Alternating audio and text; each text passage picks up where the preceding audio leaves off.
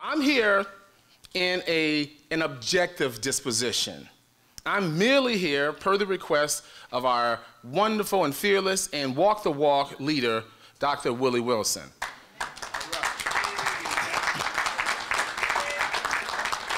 And so he asked me to just give a primer, an objective primer, on what it is that the state is spending as relates to the people in this room, Bruce Rauner, black people. And so, you know, it's election year. I'm up, my senator is up, and everybody else is up in the state, at the state level and the county level. It's important for you to understand today, not necessarily on the color line, but on the spin line, on the dollar line. Because if it doesn't make dollars, it doesn't make sense. If you look at some of the dynamics that's, uh, that's really plaguing our particular community, and it impacts your churches as well, it's really on the economic end of things. The reason that there's an abject level of violence and poverty in our particular community is because folk have lost some, a large chunk of hope. There's a major disconnect between the haves and the have-nots. That chasm is growing wider because the city, the state, especially, has not done what we were supposed to do collectively and seeing to it that we close those economic gaps. You say, well, the, uh, you know what, the government is on one end, the private sector is on the other end. Yeah, that's true. Let's look at a little bit of history here. Then I'm gonna get right specifically to the numbers. My presentation will not be long at all because I'm just gonna spew the numbers as they are factually at the state level. If you look at the Irish when they came here to this great country, if you look at the Italians, if you look at the Jewish community, they were isolated or releg relegated in certain neighborhoods in New York, in New Jersey, in Chicago, in Florida. Most of them were poor. They came here, like, well, unlike us, they came here through Ellis Island and um, through Plymouth Rock, and as Malcolm X said, Plymouth Rock landed on us. But they were in ghettos. They, were, they had some of the, the most difficult neighborhoods. Their schools were not superior. They had menial jobs. They had a really, really tough time or humble beginning as we are experiencing right now, yet still. And so, what did government do at the federal level, at the state level, at the local level? They intervened. They connected the private sector with the public sector and came up with partnerships and synergisms that made sense to help leverage them out of their respective economic impoverished situation. Mm -hmm. They gave them contracts. Mm -hmm. They gave them jobs. Mm -hmm. They spent money. When America and the, our European allies fought against Hitler and his regime in Italy, we came up with, after the Second World War, what they call a Marshall Plan. Mm -hmm. The Marshall Plan, which was named after General Marshall at that particular time, simply said, look, we're going to rebuild this entire nation. We're going to nation build. We're going to fix all the buildings, the roads, the infrastructure. We're going to give people an opportunity to get a, a grander sense of hope for themselves so they can take themselves to the next level. So we should be playing a similar role here in the state of Illinois. But the, yeah, that's true. I agree with that. And so part of the challenge is at the House and the Senate level, we authorize a state budget. We then give the budget to the governor. And the budget, the governor simply, he has the authority to spend all the money. See, Mattie Hunter and I really finished our legislative job May 30th. We said, here, governor, Here's a big old 34 plus capital, plus fees, plus federal um, matching funds for health care, for schools, for Medicaid, for roads. Comes up to about 80 plus billion dollars. Here, you spend the money. Here's the purse. Some of you preachers know what I'm talking about. You give your money to the first lady, and the first lady, she does what she does to take care of the house and, and keeps things in order. Some of you female preachers, and deaconesses. Uh, well, I don't know if you give it to your husband, but I think you all get my point. All right? So we, the legislature authorizes the governor's office to spend the money. So let me tell you how he's been spending the money. I have four particular agencies I'm going to focus on. Our largest, some of our larger agencies. The first one is the Illinois Toll Authority. I'm going to highlight that. The Illinois Public Health Department, big spend right there. DCFS, another large spend, and Central Management Services.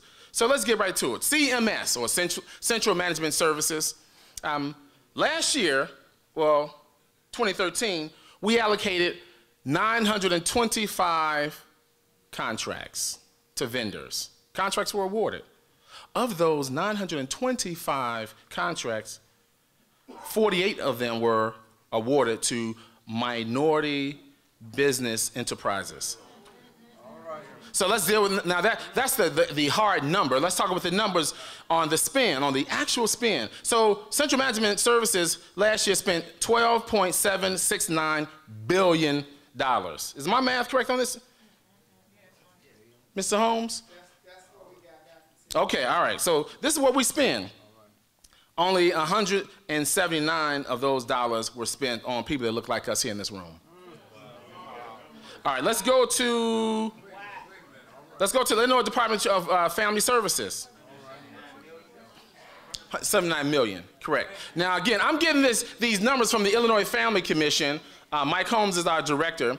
Uh, we create the Black Caucus created them back in 1993, if I'm not mistaken, 94 and their job is to monitor each agency's spend. Because here's what we don't do, ladies and gentlemen. We do not discriminate when it comes to taxing any and every last one of ourselves here in this room. When you go to the grocery store, we don't care if you're white, black, brown, red, yellow, Puerto Rican, or Haitian. You pay taxes. As a matter of fact, Commissioner Larry Rogers, we get our money off the top, don't we? Income taxes. Whether you owe, I owe income taxes. Yeah, as long as you owe, you, will never go broke snare. All of us pay it at some point. Some of us pay a little differently. Yeah, right? I need to, to connect with some of you all's accountants up in here. I'm not, no pun intended. We don't discriminate when it comes to paying income taxes. We don't discriminate when it comes to paying fees.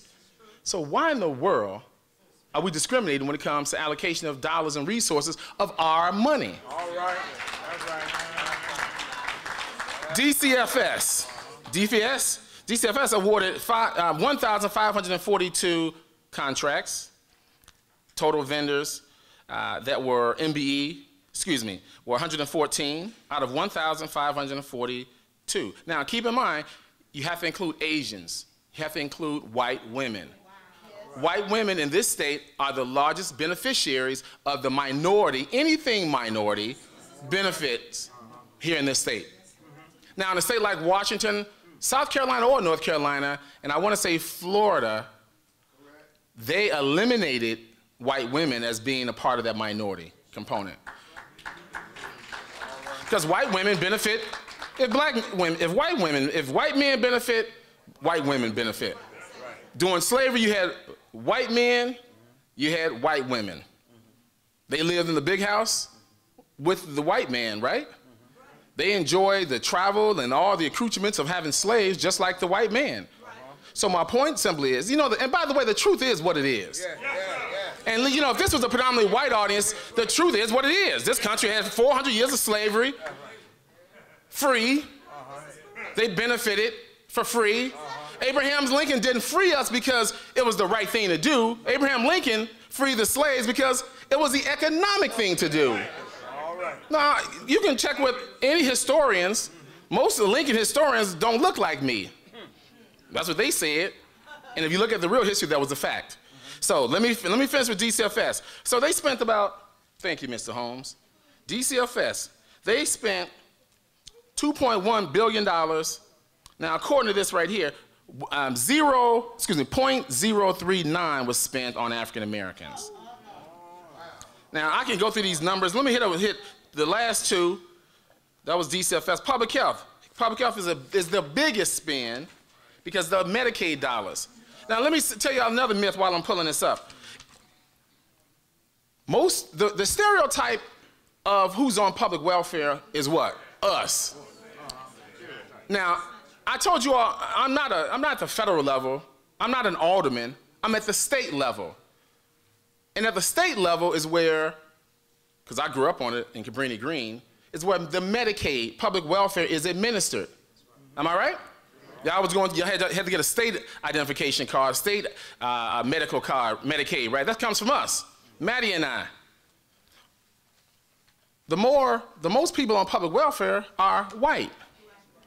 Not only in the state of Illinois, but in Mississippi, Louisiana, and South Carolina. That's because there are more white people, right?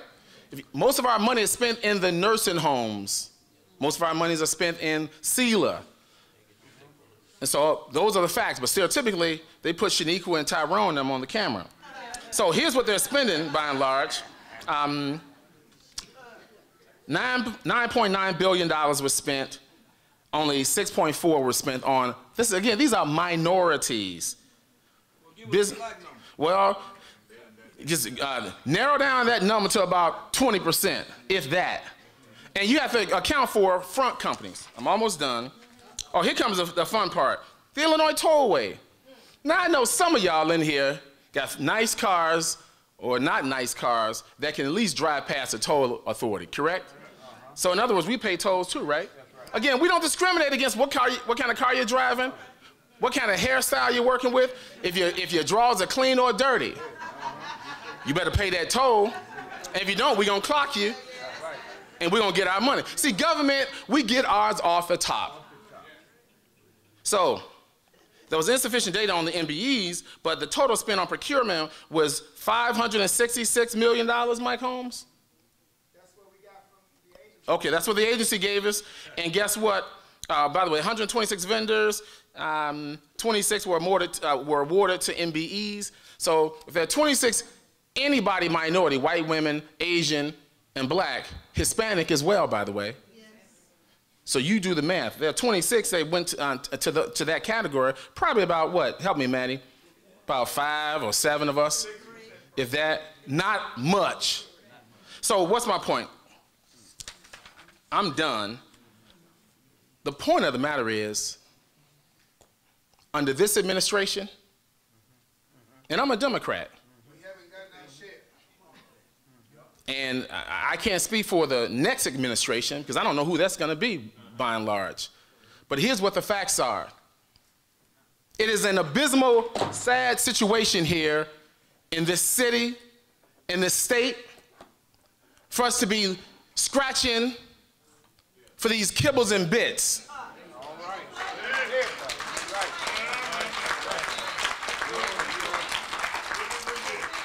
If we are 15% of the state's population, so let's say out of $40 billion, just give us 15%. Uh-huh. Then you won't have to talk about raising the minimum wage. Right. Nah. And then you won't have to talk about going all the time downtown to shop. Mm-hmm. Then you won't have to have or experience a food desert that is so consistent on the west side, mm. on the south side, in the south suburbs, and some of these poor black western suburbs. Mm-hmm. Just cut us in or cut it out.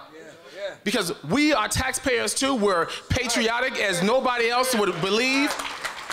We respect the law. We go to church on Sunday, don't we? See, if we ain't working, if we ain't eating preachers, um, the church body is weak. The moral fabric of society it decreases because people are they're trying to say, "I'm trying to eat tonight." I ain't thinking about going to nobody's church, no one's synagogue, nobody's mosque. So this is a collective battle, and I'm going to challenge our current governor and any other candidates. Bruce and you too. You right here. We, we ain't strangers to each other. But this is serious for us. This ain't nothing to play with. Because those shots, you know, here's what we know. Black people are getting gunned down on a consistent basis. Now, since we, we, we don't want to skew that fact, see, stereotypically, we put that in our head, even if, if we know who got shot. 15% of the population, 58% of the prison population. Is that out of default? Are we less intelligent than any other people in this city or state? Come on now. You're right. We just, the biggest chasm is the access to opportunity. That's it. And we've never asked you to give us something. Just open up the door and we'll get it ourselves. That's it. So I just want to conclude. I want to thank our leader, Dr. Wilson, for bringing all of these spiritual leaders, intellectual giants, and people who really walk the walk in a lot of our communities. They walk in communities where a whole lot of other people don't want to walk. But as long as I'm down there, and by the way, I represent from 79th Street all the way to Division and LaSalle. I go from the Gold Coast to the Soul Coast. I don't apologize for what the facts are. This jacket ain't red. This head is big. We have a serious charge, and it starts and it will begin and it will end at the state level. Thank you all and good morning. My name is Ken Dunkin.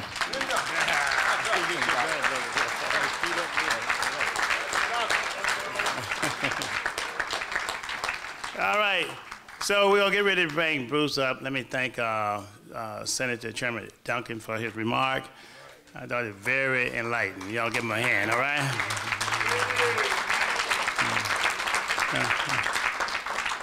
Very enlightening. When we know the facts, we can, you know, deal with it better. All right. So uh, we appreciate him and um, Senator Hunter and then all the other politicians for coming here, particular day. One piece announcement, I just got a text from the governor, so he won't be here today. So we'll, we'll. All right, so we'll, we'll have a little time here. So I'm going to bring uh, um, uh, Bruce up, so let me uh, put that out there. So after that, after Bruce get done, we'll have a few question and answers, all right? And then we can go from there. I believe that if the media are going to ask any question, they won't do it here. They can do it in a private room or something like that. I'm gonna ask them to respect that because this is a public, you know, Chicago State, all right? So I don't want to get uh, Dr. Wayne in any kind of situation, okay? So y'all understand that, right? Okay, so we have to do that separate, all right, and, and go from there. And those are rules that I didn't make, okay? But nevertheless, uh, he did a good job on, on what he was talking about. It just, uh, we, we're asking for just, just fairness. You know, if you can pay a fairness and workman unemployment compensation, you can do the same thing without dollars. Bottom line to it. So let me ask Bruce to get ready to come out. Let me, uh, I got a chance to meet Bruce a while back, and uh, so he's going to come and you judge him for yourself. You know, you be the judge. Um, one thing that we must do is vote. Yeah. Okay. Okay. And I'm asking all of you all to adhere to that for me and put the push on all of the churches to put voter registration in the churches. Yeah. And- And in businesses, we ask you to do the same thing. Can I get amen on that? Amen. All right. That is critical. If you don't vote, you don't- you ain't get nothing. Okay? So that'll be our biggest push after this meeting today. Lastly, when I bring Bruce on, we are getting together again for another meeting to, to, to work with all our alderman people and elected officials to make sure that we talk to them. If we're gonna send them in the office, they should be doing what we want them to do. That's right. Okay? So that's our next meeting. Coming up, all right? Okay. So make sure that you sign up your email address and your good cell number. All right? All right. Yeah, right. One that's not gonna get turned off. Bruce all right. Bruce all right. So anyway, here come Bruce. So he'll come and after he get done, uh, we're gonna take some questions from the floor. But the first thing we're gonna address is what's on that board. And then we'll come down to public safety and things of that nature. We'll put that on the back end of the list, but that is important, so we're coming down to that. Make sure you got your cell phone on silent. So if you need to go outside and talk uh, in another room and talk, you may do so, okay? All right, so let's uh, give Bruce a round of applause and get ready to come, all right?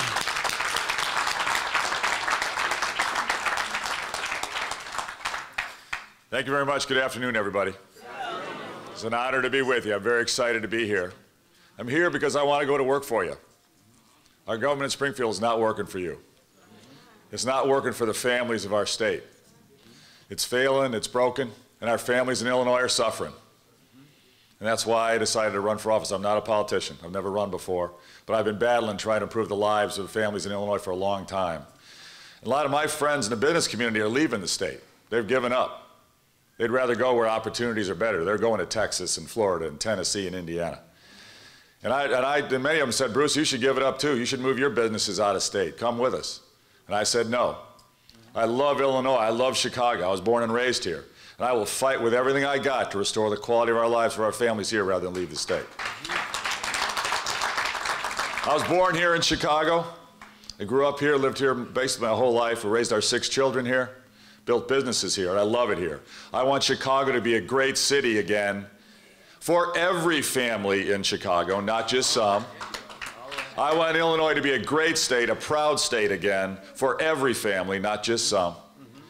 And I want to restore the American dream for everyone in Illinois. That's why I'm running. Let me be clear. Our system is going to fundamentally get transformed. I know how to do it. But I don't have all the answers, but I know how to solve problems and build teams. And I want to be with a team with you. I want you on my team, I want to be on your team, and I want to work together to solve problems and get things done. I've been a team builder my whole life. I've been a problem solver my whole life. I want to bring that into Springfield and drive results. Because right now we're not getting results. We're getting a lot of talk. Talk's cheap. We got to look. We got to look at what people do, not what they say. My wife and I have worked hard for years and years to benefit the opportunities for every family in our state. I believe as the Bible says, to whom much has been given, from whom much is expected in return. You know what? I didn't inherit any money. I come from middle class background. And my, my grandparents were pretty low income folks. They lived in a double wide trailer. Got some dairy cows and some corn. My grandfather taught me three things in life. He said, Bruce, always work your hardest, give 100% to whatever you do, get a great education because that's the key to your future, and you give back in your community because everybody needs some help. And we all have a moral obligation to each other to help each other. We're all in this together. We all owe it to each other to help each other get a better life. And that's the way I've tried to live. My wife and I, for years and years, have tried to be advocates for every family, especially African American families. My wife is the CEO of a not for profit organization called Ounce of Prevention. They run child care service programs, not for profit, with a heavy education component, so our youngest children growing up, especially in poverty, have a great education opportunity when they're very, very young, when their brains are just developing and forming. So when they get to first grade, second grade, third grade, they're ready to grow and thrive and do great in school. And she does terrific work. They do God's work, and I'm very proud of her, and I'm a big supporter of that. Myself, I've worked to try to improve education for years. I believe, my wife and I believe, that education is the great equalizer for our society. That's the key. That's the key to the American dream. That's, that's what unlocks doors. That what creates opportunity for rising income, better opportunities, higher quality of life generation after generation. And the fact that we have failing schools, and far too many of them are in African American neighborhoods. That's, it's just not acceptable. No excuse. So my wife and I have tried to give back. We don't have all the answers, but we fund teacher training. We fund principal development. We funded voucher programs for low income students. We funded scholarships for low income students. And I've tried to support uh, institutions up and down everywhere I can. I look forward to uh, getting to know Chicago State better. I don't know this school very well yet. I'm excited to be here. I look forward to learning more and seeing where I can support.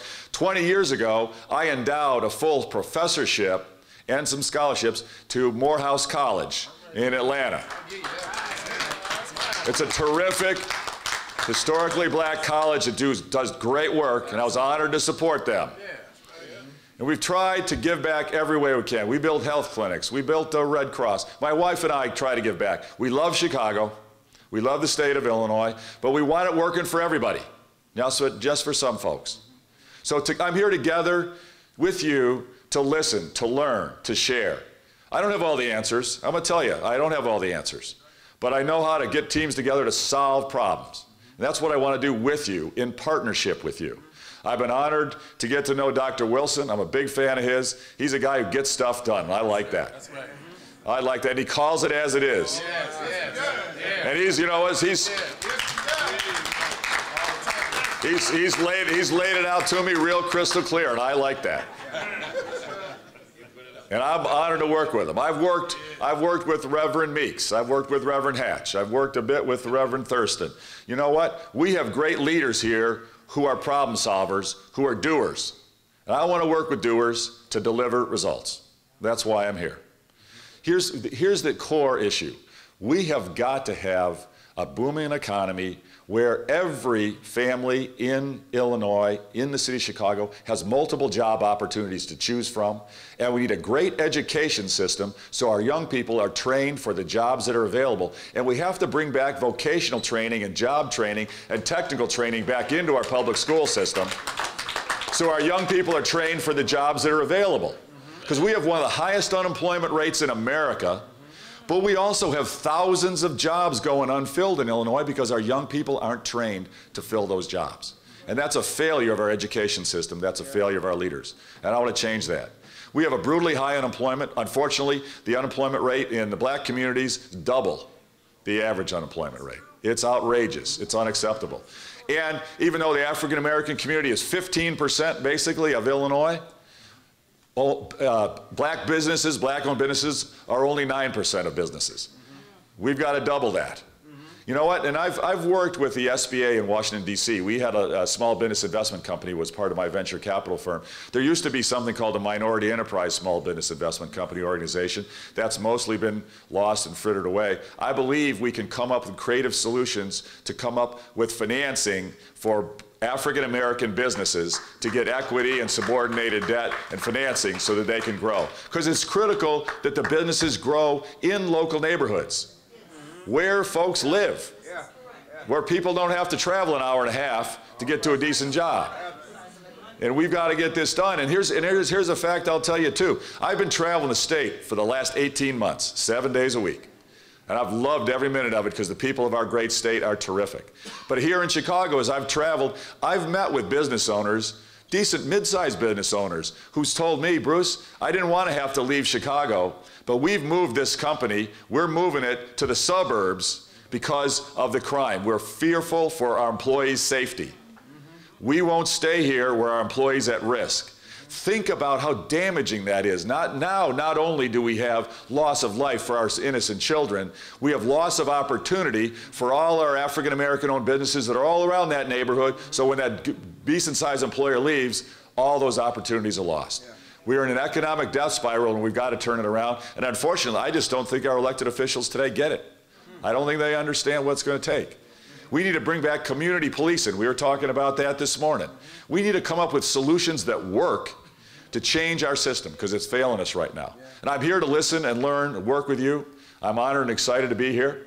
I look forward to a good ongoing dialogue. This is just one of many steps. I'd love to have you part of our team.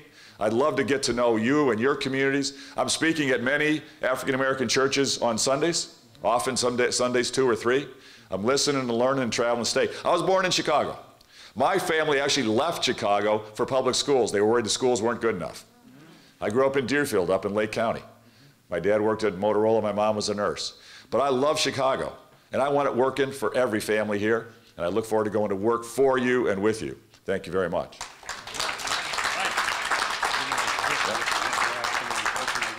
Yeah, yeah.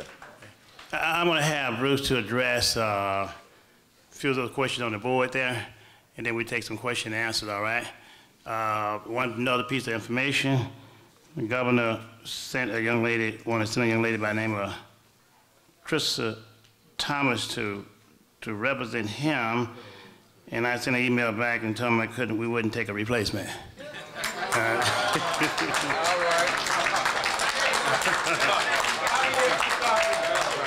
Should we just talk through, should we talk through the four points? Yeah, right, all right. And Okay. then the one, uh, Okay. on stage this morning. Okay, okay, all right. All right,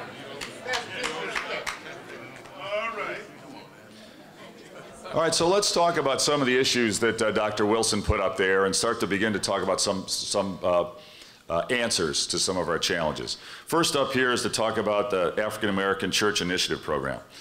Listen, our pastors, our reverends, and I've met with dozens and dozens and dozens around the state, they're terrifically talented folks. And they are all about serving the community. That's right. Mm-hmm. All about improving the quality of family life here in Chicago and in the state of Illinois. Mm-hmm. So I'm honored and excited to work with our reverends and our pastors and our religious leaders. And I'll do that in every way that I can. And I'd like to form an alliance and a group to advise me on how we can best work with church leaders here in Chicago and in the state. As I mentioned, I've already been working with many reverends and many pastors, mostly around school improvement and education, but there are all kinds of social services, all kinds of training that can be done through the well-structured, well-run churches that we have here. And I'm excited to learn more and form a good partnership and alliance to get that done.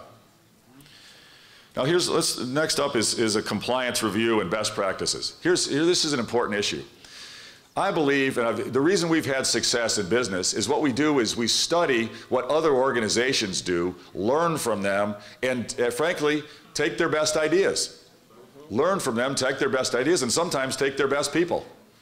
And, and then go reproduce what they were doing and what was working, and then try to make it better. Yeah. That's the way to compete. And you know what? We in Chicago and we in the state of Illinois, we're out, we're competing. We're competing with Indiana. We're competing with Tennessee and Wisconsin and Texas. And we're going to be the strongest state, so our families are the most prosperous, so we're going to steal the best ideas. We need to study best practices. What is working in different communities? What is working in some cities? What is working in other states? Learn from it and take those ideas and apply them here. I am all about that. I need your help to do that. Many of you already know what's working in your neighborhood or in certain city or a certain community. We need to know what's working so we can expand it and roll throughout the state, throughout the system. I want to form an alliance and a partnership with you. I've asked Dr. Wilson to help me put together a group of advisors, an advisory board, a task force to advise our administration, be part of our campaign, but also the key is part of the governance after we win in November. We've got to deliver results. You know, we, I don't want to talk about stuff. I'm not a big talker. I'm a doer. I want to get results. It's easy to say things. It's hard to do things, and I want to work as a partner to get this done. We've got to make sure when we set a goal, it's a realistic goal, and we achieve the goal. Don't set goals and then, and then ignore them. We've got goals about helping the African American community in contracting. We've got goals for how many African Americans should be participating in our government and different programs. We got the goals and we ignore them. That's a fact. You know what? No more. If I'm going to set a goal, we're going to achieve the goal. All right. And we're not going to have a goal, I'm going to say it, okay, that's not a goal. All right? That's fine. But let's be upfront and honest about it. Let's be very direct about it. Let's not make a promise and not deliver. I'm not about making a promise and not delivering. This is the key. And I need your help. I need you to hold us accountable, but be part of the process. So it's not insiders and outsiders and people laying blame and pointing fingers. We're in it together. We're solving the problems together. That's the whole key. Uh, similar issue on statewide accountability. Um, we, we should have, find ways that we can have African American businesses fundamentally major players in the contracting process, in the service provision process. There's, there's, there's answers to this. I have to say, I don't have all the answers. If I did, I'd, you know what, I'd, we, we, the place, we would be in a very different place. I need, a, I need your help to find the answers. I need to learn is what working in other communities and get it done. I know we can do it. I've met with uh, many talented African American entrepreneurs. They're struggling with financing. They're struggling with opportunities to grow their business. I know I can help fix the financing problem. That's why I come from finance world. I know I can fix the financing problem. But we've got to fix the contracting problem and the way that it's open and fair and competitive so a competitive business has a real shot at getting the business. I need your help to figure that out. This ain't rocket science. We'll get it done. But I need your help to get it done. Oh, parity in education and safe neighborhoods. So this, this is absolutely essential. As I said, we believe nothing's more important than education. That's our future, that's our competitiveness. If you look at every challenge we've got, low incomes, crime, uh, lack of opportunity, high unemployment, you look at every challenge we've got, education may be not the sole solution, but it's a major building block of the solution. The one thing I can tell you is I know that our education funding formula for the state of Illinois is broken. It's corrupt. We do not have a fair funding formula for state support of education. We need to reform it, but we also are 49th, at least we were. We, I don't know, Ken, you may know better. We used to be, are we 48th? 40, we're 48th for 48th out of 50 states for state support of education. That's ridiculous. It's ridiculous. We've got to change that. It should be the number one place where we put our tax dollars supporting our children for their education, for their futures. We should stop cutting education when we don't have to, and that's what's gone on the last five and a half years. Education should be the priority. We don't play political football with it. No matter what else is going on in the economy, the education dollars are protected. That's our kids' future. And we'll come up with a new education funding formula. I've gotten to know Ken in recent years. He's a terrific public servant. I'm going to work with leaders in the, the Black Caucus and the other legislators to solve that problem. We need a new education funding formula. We, uh, we know we got to get that done. I'll work cooperatively with them to do it. Then the safe neighborhoods. Look, the, cr the crime is, it's horrible. And unfortunately, it's not just in Chicago. The media likes to spin it as it's in Chicago. It's all over the state. We don't have the economic growth, the economic empowerment, and our children don't see their futures, so they're resorting to gangs. And they aren't receiving a good education, and they feel it, they know it. They are not being getting job training and vocational training in their schools. They feel it and they know it, and they don't see their future. So they're resorting to joining the gangs and willing to risk their lives because they look at their lives and say, gosh, my life isn't worth that much anyway. I don't see my future. It's tragic. It's the great moral crisis of America today. We're going to change that. We need a strong business climate, especially where minority businesses, African American business, are strong and invested in growing. And we need world class schools, and we'll, we'll see our crime problem diminish substantially by doing that. We can't let the politicians come up with other excuses or other programs. It's all about economic growth, economic empowerment, and world class education. And then supporting our families the way my wife's organization does, struggling families, especially single parents who need some help to get through the day and need an opportunity to educate their youngsters when they're not in school. If we do those things, we are going to reduce the crime problem dramatically, and we're going to have a better shot at the American dream for all our families. So I look forward to working with you to get those things done, and we can go into more detail on specific questions as you like. But I'm, I'm very committed to you I want to run a campaign in partnership with you, want to go to work for you after we win in November. Thank you very much.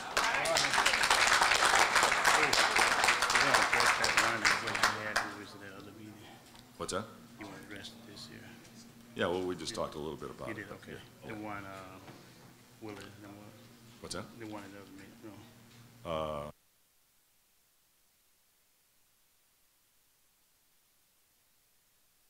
So, um, Mr. Coleman, Percy Coleman was visiting about community policing um, earlier when we had a meeting. We've got to come up with some ways to really have public safety uh, effective. It's, it's not working today. And, and I don't, again, have all the solutions. We should study what's, what has worked um, in the past. Um, Mr. Coleman, I don't know if you'd like to uh, talk about this, the solution that you were uh, uh, addressing earlier, but I'm all about coming up with uh, solutions, not just more of the same. And uh, could you come up and, okay. Well, I I have one solution. Uh, Garry McCarthy must go. Yes. He has proven that, he, hold on, let me say this here, real quick. Garry McCarthy, you tell me what man or woman, especially if it was a woman, if they had this type of record of an abysmal, he's been an abysmal failure of how to police and strategize in our respective communities. Can you imagine this is happening on the, in the Millennium Park side of my district or in Lincoln Park? Now, all of, it, all of us deserve protection, equal protection under the law. First thing is to get rid of Garry McCarthy. That's it. exactly. All right. Uh, I'm going to ask, um, go ahead and allow, I'm going to take question and answer in a few minutes, all right? I, I just want to get, make sure that uh, he make a few points that Bruce, that he brought up in our other meeting today. And so I'm to give him like five minutes on this right here. And then I want to take some question and answer from the audience so that Bruce can hear it from you as well. Uh, Okay, so we're going to go that route, all right? Bruce has to be gone by 1:30. All right, and so I gotta let him out. So I'm gonna give you enough time, okay? All right, so we can take care of that. So, uh, Brother Percy is going to come forward in uh, for a few minutes, and I'm going to turn it back over to Bruce Hand, and we're going to ask a few questions, uh, and then we're going to go from there, then I'm going to give you another date when we'll be meeting again um, at another time, okay? We spoke uh, about the people we had meet with Bruce earlier today, most of whom were former CHA people, former cops, county sheriffs, and I'm a former chief of police in Ford Heights and Robbins, and I was the commander of community policing for Chicago Housing. We had the most successful community policing program in the state of Illinois and Chicago, and they canceled it. That's what they do, the people in power, when they perpetrate the illusion of inclusion. Right. Community policing was hated by the Chicago Police Department. Leroy Shield forced me on them, sent me all over the country to learn what they were doing in other places. I was looking at the news last night. New York is having all their problems right now, mostly in public housing. Again, what do we have in common with New York? All of the killings and the shootings is in poor and black communities, urban communities inside these major cities. Chicago is not the capital, murder capital of the United States. West side and south side of Chicago is the murder capital of Chicago. All right. Sh- The police chief don't know what to do. Not a clue. He don't have a clue. He talked to me one time after my son was murdered by the Chicago cops, and he thought that pacified me. Well, it didn't. It motivated me. All right. And I want these pastors to know I'm on a mission. All right. Here it is. Mr. Rauner will have the cream of the crop advising him about community policing that works. Tried and tested in Chicago, and it worked. We work with the gangs, we work with the ex-offenders, we work with the Second Chance program, we work with the churches, we work with the community leaders. All you have to do is pull them back together. Bruce can pull the city, the county, state, and federal law enforcement and elected officials together. We'll pull the community and the churches together. And ain't no gang or no crooked cop nowhere in the world can stand up to an organization that's organized and know we for real. We have two terrorist groups in the city of Chicago. One is the Chicago gangs, the other one is the Chicago police. And we gonna get rid of both of them.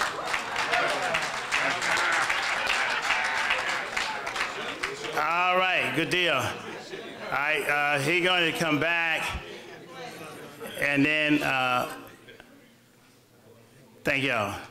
Now y'all don't, don't talk too much, you know, give, give me the respect, right? Don't make me look bad, right? Thank you. So we're going to take some question and answer. Gonna bring Bruce right back up here, okay? I, I got them hands, I'm gonna point to you, I promise you that. But I'm promising that thing, Bruce gonna gotta be gone at 1:30, because I, you got to keep your answers short, question short, and get to it.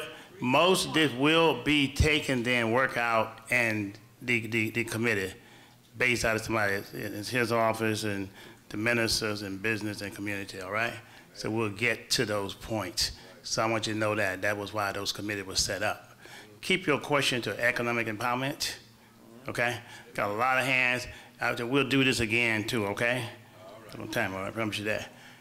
Uh, okay, so uh, let Bruce come back, and then I'm gonna take some questions. He got one more, one or two more answer that he got a, a hit on, and then I'm gonna take some questions. That gentleman had hands up right there, but I'm gonna ask you all for me to line up right there, five at a time, and then that way I'll know exactly what to get off and get on. Okay? Bruce. Uh, well, here. Oh, you got a mic? Uh, we got a mic. I'm gonna ask. Person on that side, and then I'll be on this side. Okay, so with, with, with the two people on mic, so I'm gonna have the mic to come here. Where's the other mic at? Andre, grab the other one. Oh, Andre. So here are the two people here. Andre here So we'll line up some over here and some over there, Andre. and Christine. All right. Now I'm gonna ask, come on, five at a time. I tell you what, we're gonna be short. All right, keep keep where we at now. Next time, five come at a time because that clock strike 1:30. We're gonna have to end it. Okay? You got it? So Bruce got a couple more coming first, and then we can start with your question. Okay? And I'm gonna have to cut you off if you take more than 30 seconds, okay? Promise you that, but try to keep it short. When we were visiting with a smaller group this morning about 10:30, we talked about a number of issues. One is how we can improve the public uh, law enforcement process because it's clearly not working very well. Another one of the topics was how we can get more uh, black-owned businesses in the construction industry involved in the contracting process in the city and the state level. And I, to me, this is one we ought to be able to solve pretty darn well because this is all about fair and open competition and bidding in the process. And it's not like uh, construction requires super advanced degrees, like as uh, uh, Dr. Wilson was mentioning, certain advanced architecture or whatever. This is skills that are widespread, and frankly, where they're not widespread, we can create uh, mentor programs and apprentice programs to learn the carpentry and the plumbing and the electrical work, and we can span the opportunities for black-owned businesses in the construction trades in, the, in, the, in that field. And let's, let's do that together. We can make that a priority. It's very doable. And we can expand the percentage of the contracts for construction that are made available to black-owned businesses. That was one big topic. The other, the other topic that came up with is just the overall process for contracting at the city level and at the state level. Obviously, as governor, I can't control what happens in the city. I can set a tone and recommend techniques, and I want to use the best techniques at the state level and encourage cities to use what works.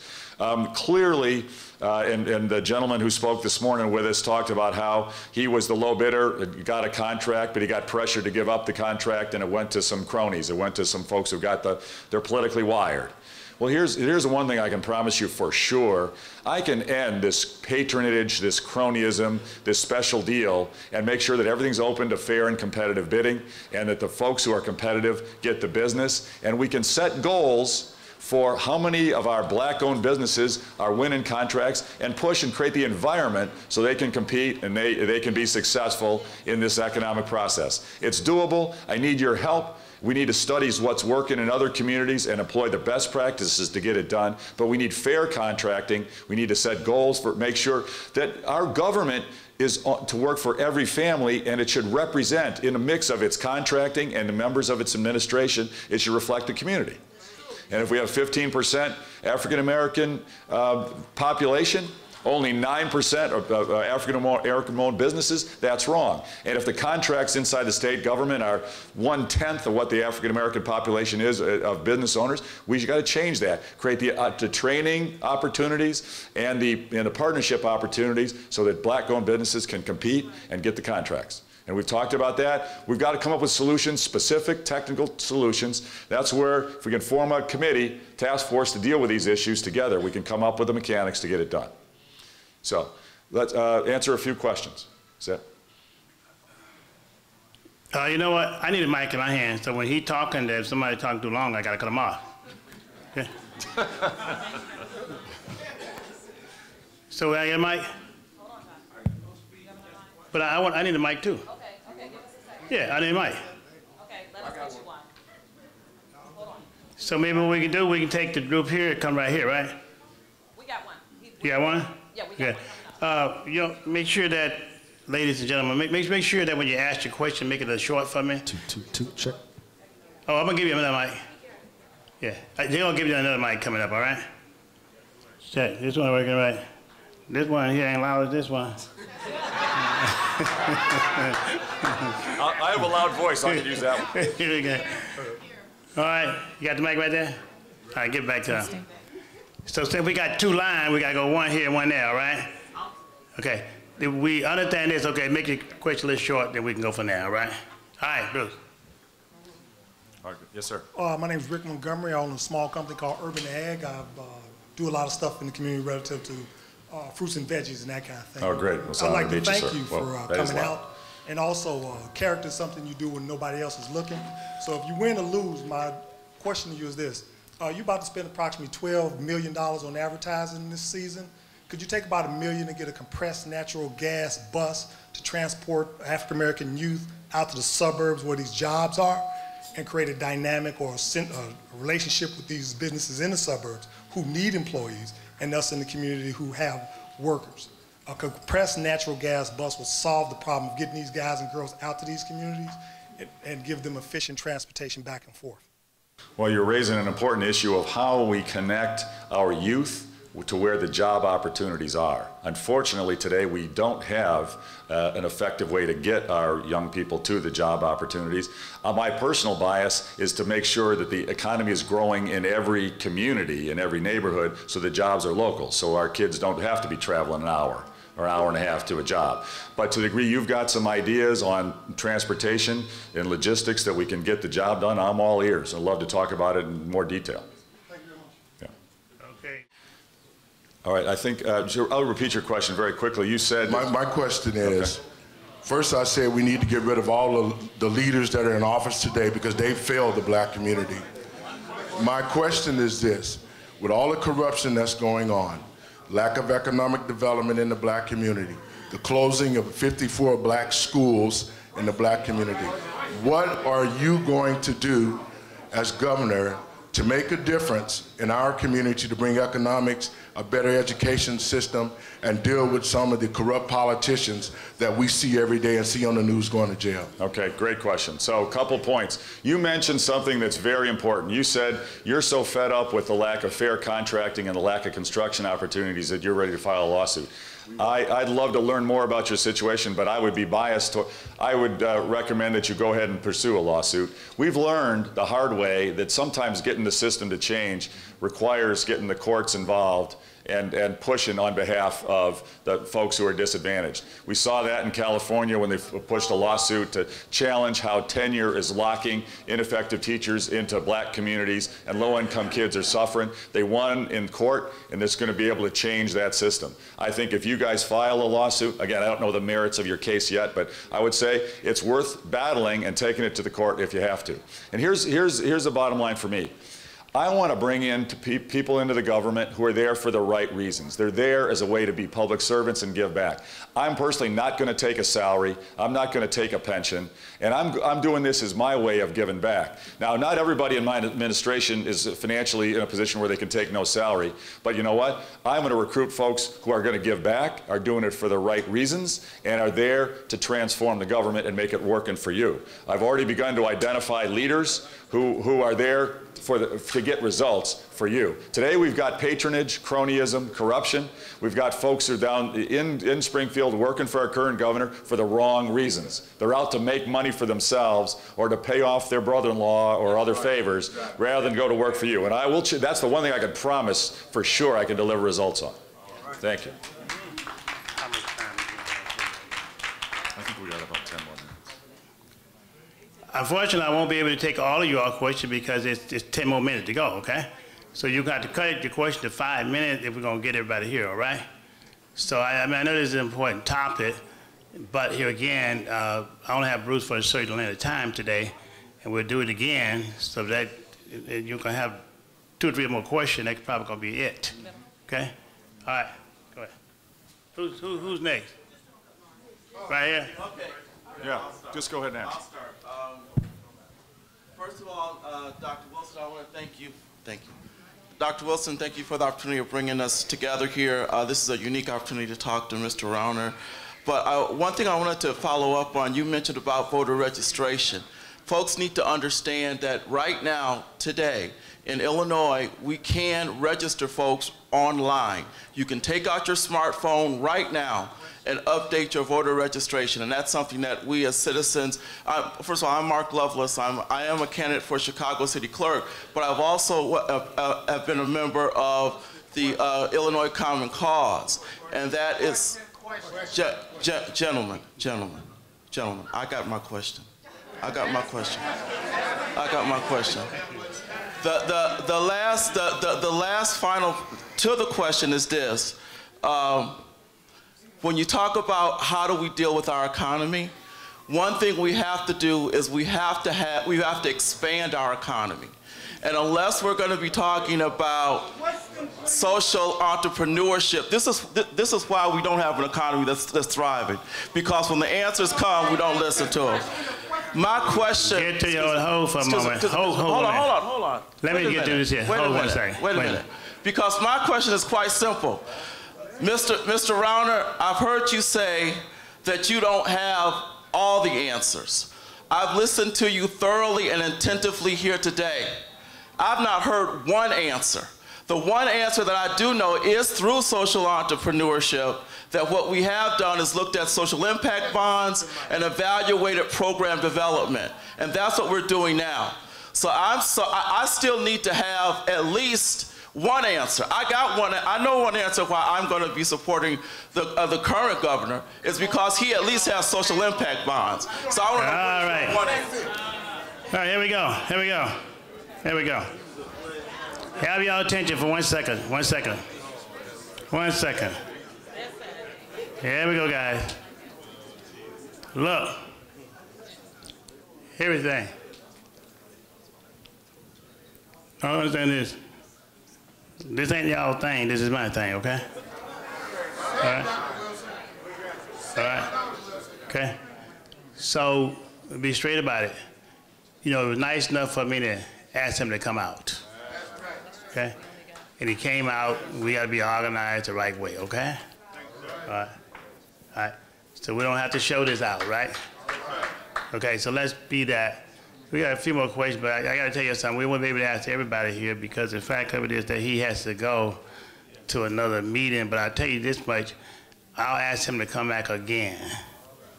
Okay? And that he can complete this here. That's the best way I know of how to doing it, okay?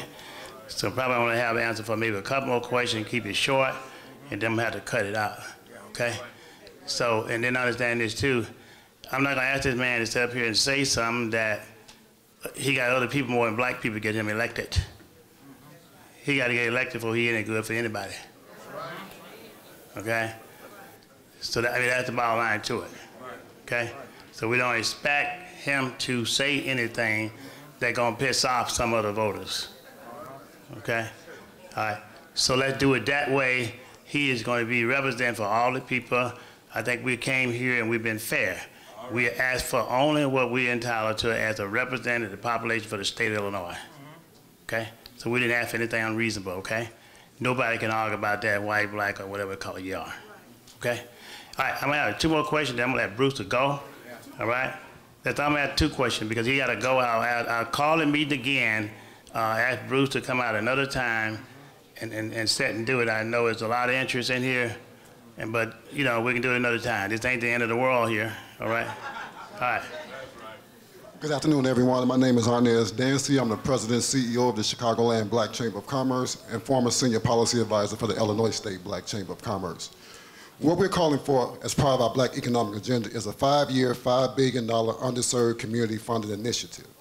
It can, it can come from the following state agencies, the Illinois Department of Commerce and Economic Opportunity, the Illinois Finance Authority, the Illinois Housing Development Authority, the Illinois Facility Fund, also, uh, Illinois Urban Development Authority, even though it passed uh, the state in 2009, the board still is not in place. We're also calling for full funding of the Office of Urban Assistance. I just gave the agenda. Would, would you support a black economic agenda that will call for a five-year, $5 billion funding initiative? Well, I can't commit to a particular funding level. I can absolutely promise you that I will be a strong advocate and an ally for the Black uh, Chamber of Commerce uh, it, in every community all over the state. I've met with many. I'll be meeting with many more, and I'd like to find ways to bring resources into the African American community. The one thing uh, we were, somebody was talking about solutions. I've got a specific solution. One of the things that's going on around the state, certain regions, certain communities are forming small private equity funds, ca capital funds to support their local businesses with equity and subordinated loans. And I believe we can have a state role to support those types of funds in low-income communities where the resources otherwise aren't there. And I believe I could work closely with your Chamber of Commerce to implement that sort of a program, and I'd be honored to learn more about your ideas. My name is Leonard Montgomery, and I'm a very good member of the BCA, the Black Contractors Association. I would like to ask you, since Dred Scott said that black people have no rights that can be respected by any white, what is it about you that would make me believe that after we leave this room, that Dred Scott damn it, is not still on top and crushing all of my black brothers and black sisters, including some of you Uncle Tom Negroes in this room right now that ain't got the heart or the sense Cut the mic, to cut the stand mic. up when we're being hurt. right. Cut the mic. What a wonderful public Okay, all right. having here with these Here we go. Negroes. Here we go. All right, all right, here we go, guys. We are going to adjourn this meeting. All right? Uh, I'll tell you what, the real question will have to be another time. All right. All right, hold it for a second. Hold it for a second. Hold it for a second. All right, guys. All right, hold it for one minute. Hold it for one minute. Get your attention for a minute. All right? I'm back here with you. All right, good. I understand this much, guys and ladies, and gentlemen. We are going to do this. If you guys gonna talk over there, y'all need to just leave the room. All right? If you need to talk, you need to go outside. All right? So due to respect for what we got him here for, so I can get him back again. Okay, you don't want to run him away, right? All right. All right, so listen, we're, we're, we're going to end this meeting because he got to go someplace. All right? One, one question? How long? is it? Five seconds? Uh, yes, sir. All right, you got five seconds. Um, I have a question about receivership. Abandoned building and vacant building property is a major issue in the in the south and west side uh, communities, and the receivership is being appointed by the courts. And we need more minority. We have contractors in the neighborhood. We want to know how do we get access to the receivership because right now over 3,000 is being handed out, and the judges have the right to appoint who they want. And what they're doing, they're appointing people from the suburbs as receivers. And we want to know how do we become the receivers in the city? That's a good question. I don't have the answer. I would love to visit with you more. I can ask our team to, to talk with you about what's going on in that issue and see if we can come up with a solution. I don't, I don't know enough to have an answer for you today. Thank you. Doctor, you got time for one more question? You got one more? Uh, well, y'all, I want a preacher up here to dismiss with a prayer. all right, all right, all right. Well, let me say to Dr. Henry, I want you to come up and dismiss with a prayer. And y'all, let me give Bruce a round of applause standing awake, okay? All right.